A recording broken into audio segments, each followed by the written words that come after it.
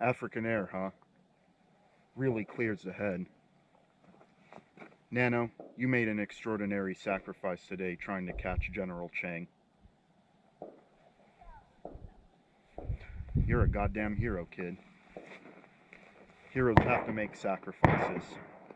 That's why when I ask you for one more, I hope you understand. It was nothing personal.